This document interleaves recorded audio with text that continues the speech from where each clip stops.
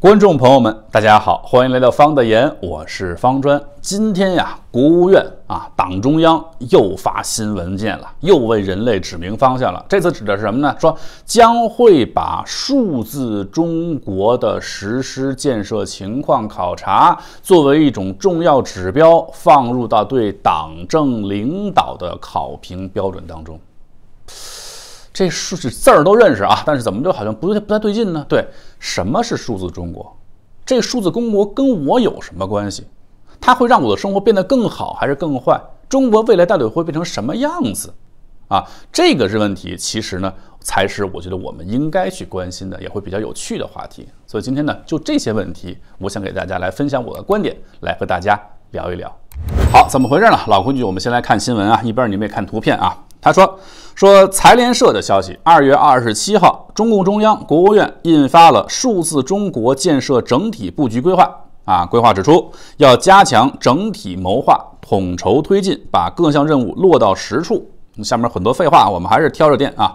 一共有五个大点：第一是加强组织领导啊，坚强，这永远是放在第一位啊，党是第一位的，这不用说了。那么第二个呢，是要健全体制机制。要健全数字中国建设统筹机制，叭叭叭叭叭，什么联动啊什么的，为了更好的控制啊，这是第二点。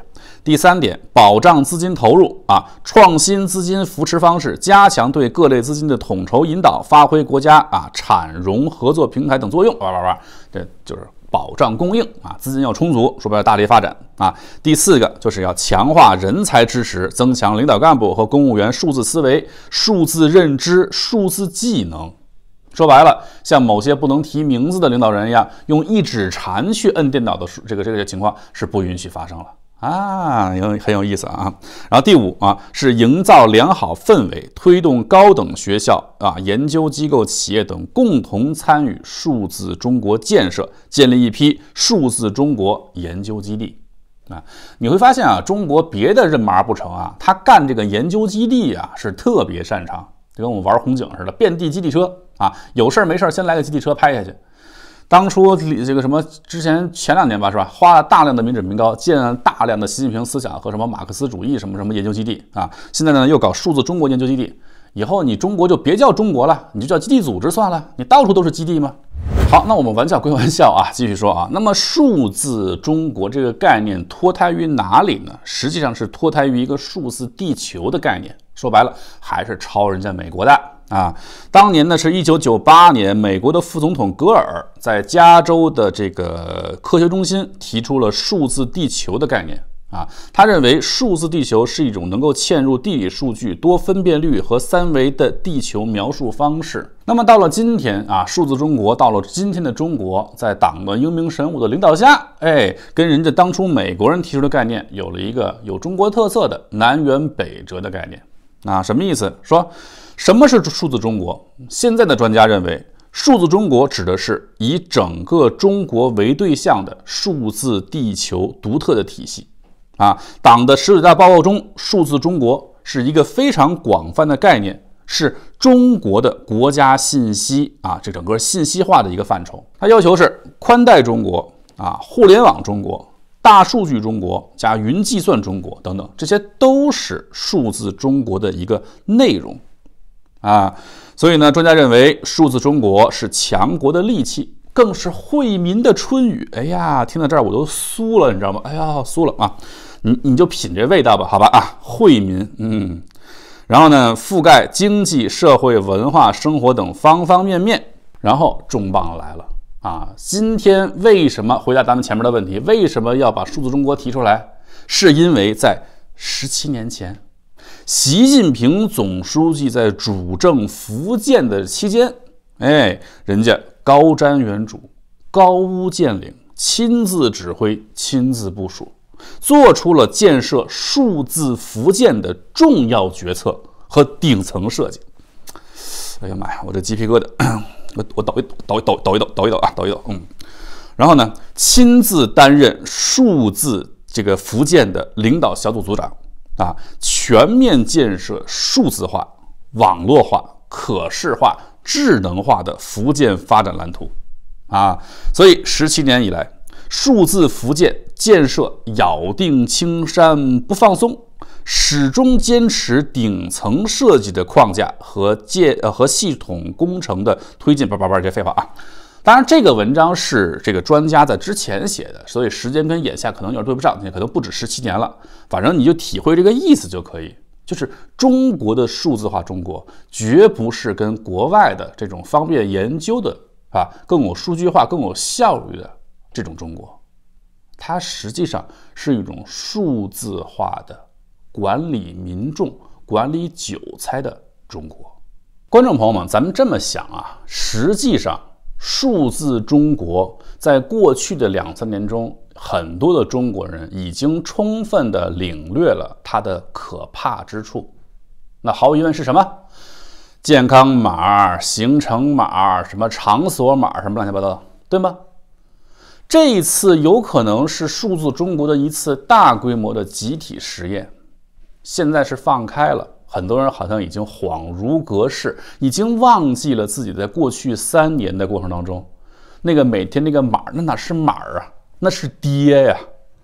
去哪儿先得先扫码，去哪儿还得先扫码。那黑龙江不是有一个吗？说进门没扫码，关店不许开门。本来就没几个客人，还记得这事儿吧？咱们还说过，对吗？啊，这些数字码实际上从某种意义上来讲。变成了一种数字统治、数字政权的工具，你想是不是这么个道理？对吧？啊，那么上一个广泛的运用这种数字化管理的只有两个地方，一个是类似于，比如说戴森球系统、戴戴戴森球计划，比如说模拟城市，啊，比如说火车大亨等等这些模拟的游戏领域。对不对？所有的这种经营类游戏都是数字化的，你可以直接看你的里边所有的人民的情绪的、经济的、繁衍的各种各样的数据，数字化。另一边呢，就是这个监狱和养殖场，而且是现代化的养殖场。啊，只有监狱，当然这个监狱从某种意义上来讲，跟这个养殖场实际上没有什么太大的区别，对吧？只不过是养殖场多了一个产能的功能，呃，监狱的话呢，让呃让犯人劳改，那个只只只做是作为一个副业，养殖是主业。但是从剥夺自由、从统治、从每天的活动范围等等，都经过严格的规划这个角度来看，其实养殖场和监狱没有什么区别，我们就把它归到一类上来看。啊，所以你想想，在监狱里面，对不对？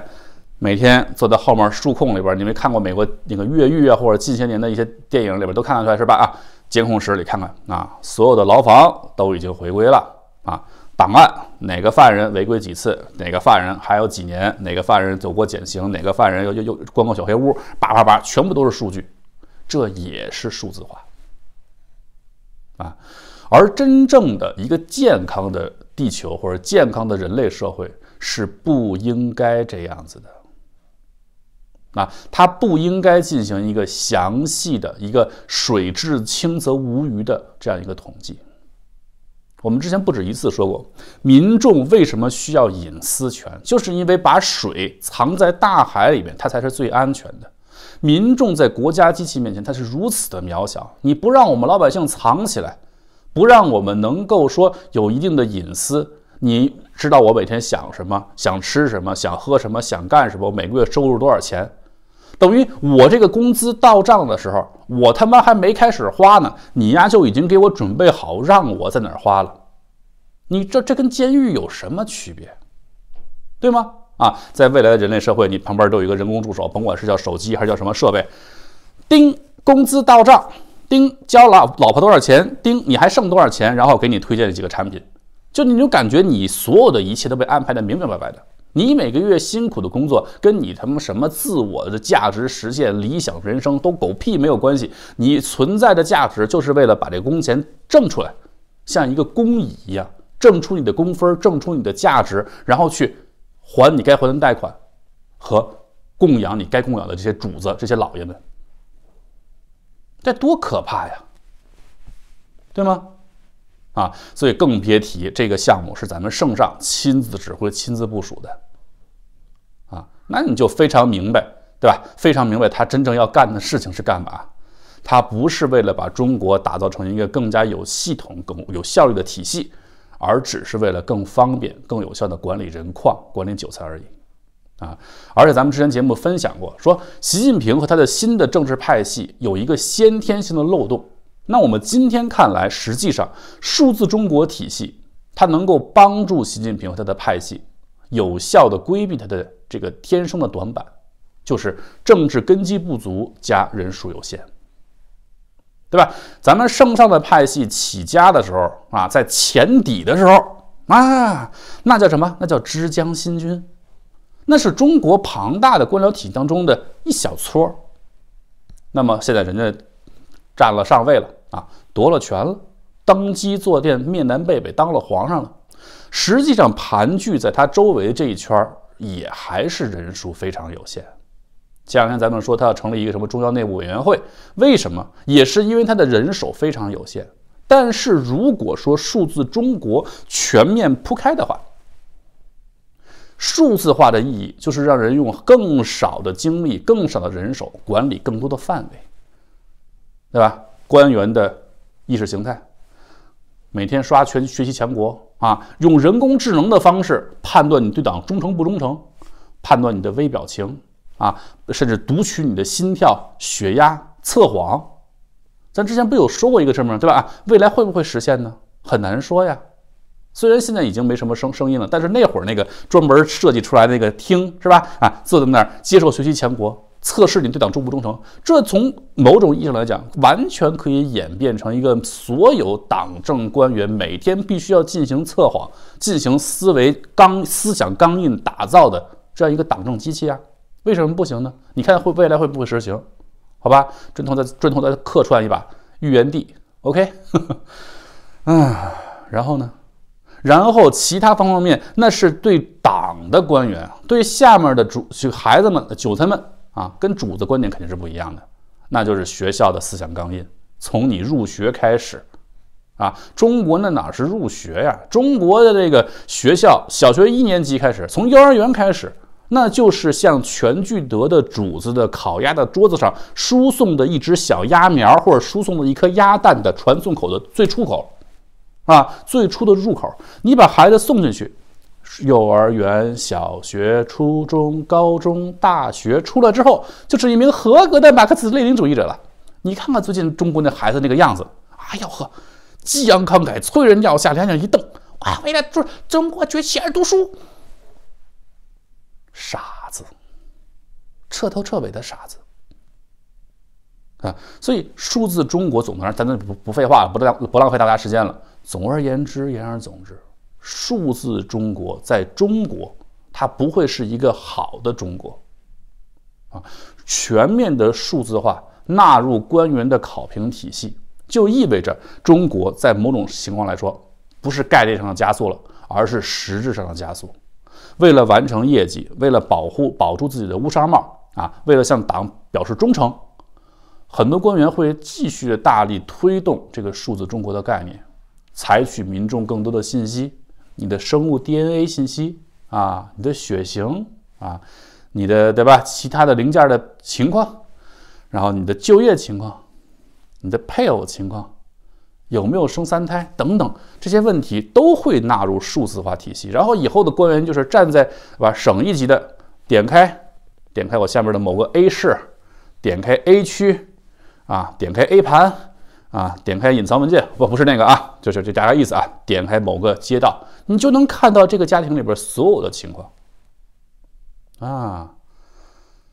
那个是很可怕的，不需要你再去叫什么负责人来给我介绍情况，不需要我鼠标点点点点点，我用一根手指头一指禅，我点到最后，我也能知道在 A 省 A 市 A 区某 A 街道的某个老 A 他们家的最近情况。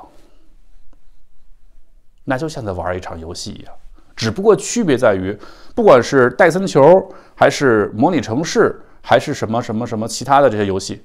我们玩输了之后都可以重新再开一盘，可以读档，对不对啊？读取存档再来一次。